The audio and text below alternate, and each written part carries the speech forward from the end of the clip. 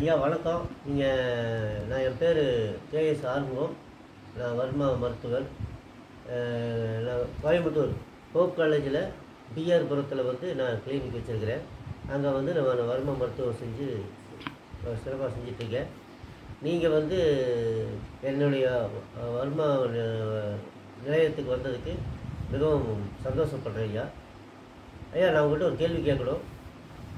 இப்போ சில பேஷண்ட்டுகளை வந்து உடல் முழுவதும் எங் உடலில் ஏதாவது ஒரு பகுதியில் தீராத வழி இருக்கும்.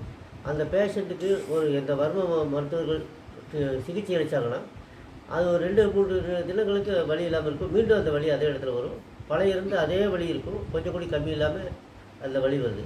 அப்போது அந்த மாதிரி நிறைய ஆசான்கிட்ட போய் சரியாகாமல் என்கிட்ட வராங்க வரும்போது நானும் அதை சரி பண்ணி அனுப்புகிறேன் ஆனால் இதை வந்து நீங்கள் வந்து அதைய நிரந்தரமாக குணமாகிறதுக்கு சொன்னீங்கன்னா எனக்கு மட்டும் இல்லை எல்லா ஆசனங்களுக்கும் அது போய் சேரும். அந்த வகையில் நீங்கள் கொஞ்சம் சொல்லுங்க ஐயா.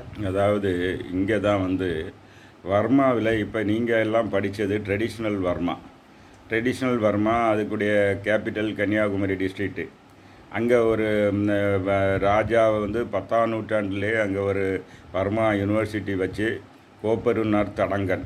வச்சு அது வந்து அதெல்லாம் இப்போ யூனிவர்சிட்டியே காணலை. அந்த ஏரியாவில் நல்ல இந்த நிறைய டெக்னிக்ஸ் இருக்குது அதில் குறிப்பிட்ட சில ஆசாமார் தமிழ்நாடு ஃபுல்லாக வந்து கிளாஸ் எடுக்கிறாங்க. ஆனால் இந்த டெக்னிக் கன்னியாகுமரி டிஸ்ட்ரிக்ட் பழைய கேரளாவாக இருந்தது. ஆயிரத்தி தொள்ளாயிரத்தி ஐம்பத்தேழில் தான் அங்கேருந்து பிரிஞ்சு தமிழ்நாட்டுக்கு. அதனால் இதில் உள்ள சூஷ்மங்கள் இன்னும் கேரளாவில் நிறைய ஆசாமருக்கு தெரியுது.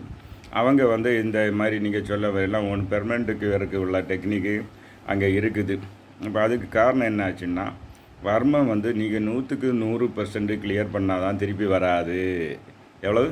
நூற்றுக்கு நூறு பர்சன்ட் நீங்கள் என்ன தான் பண்ணி நீங்கள் நினைப்பீங்க? நூறுன்னு அது எண்பது பர்சன்டில் இருக்கும்.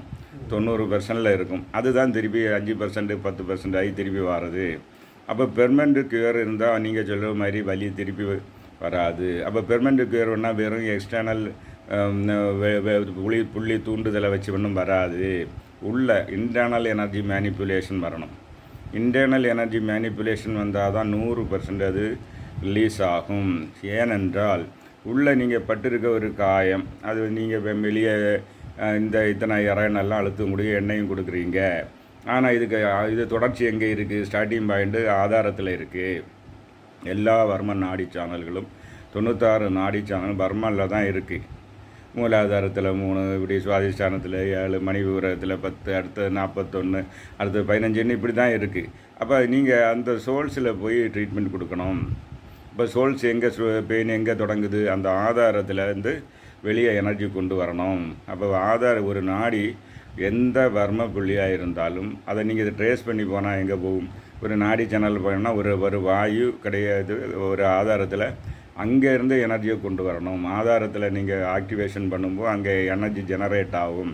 ஜெனரேட் ஆகி ஸ்டோர் வாயு அந்த கன்சர்ன்டு வாயு உதாரணமாக மூலாதாரம்னா அபானம் சுவாதிஷ்டானம்னா வியானன் இந்த மாதிரி அந்த எந்த ஏரியான்னு கண்டுபிடிச்சி அந்த ஆதாரத்தை இயக்கி அது சம்மந்தப்பட்ட அதோட கனெக்டட் வாயுவை இயக்கணும். அப்போ எனர்ஜி வந்து உங்கள் உள்ளே வந்து பில்டப் ஆகும். பில்டப் ஆன எனர்ஜியை நீங்கள் எந்த ஊர் இந்த நாடியில் தான் இந்த வர்மம் இருக்குதுன்னு கண்டுபிடிச்சி அதில் செலுத்தணும். அப்படி செலுத்தும் போது அந்த பெர்மனண்ட்டாக இழகி போகும். நீங்கள் இது இல்லை என்ன பண்ணுறீங்க வர்ம ஒரு நாடி சேனல் வரைச்சான்னா அதுக்கு ஓப்பனிங் தான் அந்த வர்ம ஸ்கின் பக்கம் இருக்குது வர்ம புள்ளி ஓப்பனிங் ஸ்கின் பக்கம் இருக்குது அப்போ நீங்கள் தூண்டக்கூடிய டைமில் அந்த அந்த புள்ளி அவுட்டரில் இருந்தால் தானே குணாகும். அது உள்ளே இருந்தால் எப்படி குணாகும்? உள்ளே உள்ள நாடி இப்போ பைசினி விசுவதர் எல்லாம் உள்பக்கமாக ஓடக்கூடிய நாடி. இன்டர்னல் ஆர்கன்ஸில் கனெக்ட் ஆகி இருக்கக்கூடிய நாடி. இப்போ மூத்திரன்னா அந்த பை எங்கே கனெக்ட் ஆகி இருக்க நாடி. அதை விரல வச்சு நீங்கள் வந்து எவ்வளோ பண்ணாலும் அது கம்ப்ளீட்டாக திருப்பி வரும். அது திருப்பி வரக்கும் கால நிர்ணயம் உடனே வரும்னா அது ரொம்ப ஆசானுக்கிட்ட குழப்பம்.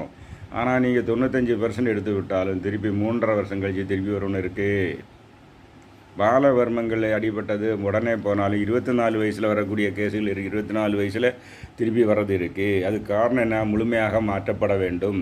அப்போ முழுமையாக மாற்றோண்டு வேரோடு எடுத்து மாற்ற வேண்டும் என்றால் அந்த எந்த இது இந்த வர்மம் எந்த சக்கரம்னு கண்டுபிடிச்சி அதை ஆக்டிவேட் பண்ணணும். அதுலேருந்து வாயுக்கு கொண்டு வந்து வாயுலேருந்து பைப் லைன் மாதிரி எனர்ஜியை கொண்டு வந்தால் அந்த வலி முழுமையாக மாறும்.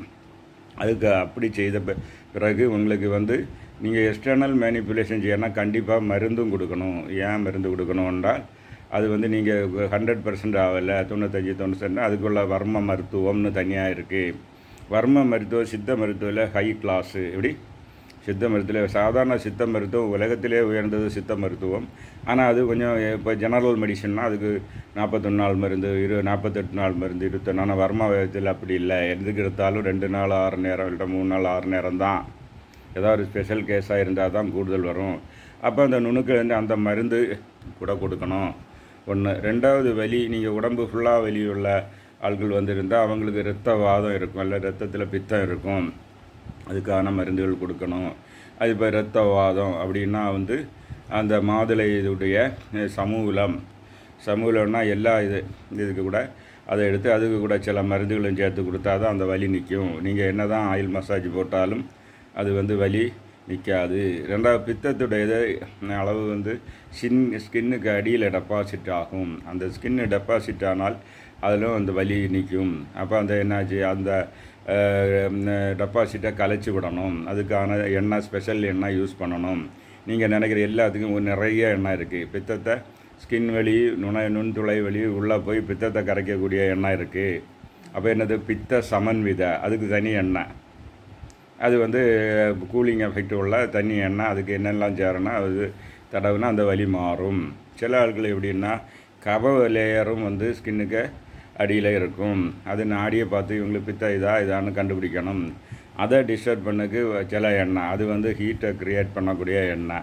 அதுக்குள்ள எண்ணெய் இப்படி மசாஜில் நிறைய எண்ணெய் யூஸ் பண்ணும். ஒரு எண்ணெய் எல்லாம் யூஸ் பண்ண கேரளாவில் வந்து தன்வந்தரம் ஆதி ஆயில் கற்பூராதி ஆயில் இந்த மாதிரி பல ஆயில் இருக்கும்? அதை விட நம்ம இங்கே கன்னியாகுமரி டிஸ்ட்ரிக்டில் தான் ஸ்பெஷலாக நிறைய நிறைய ஆயில்கள் இருக்குது அப்போ வாதபித்த கபம் நாடி பிடிச்சி பார்க்க தெரியணும் பர்மா ஆசானுக்கு.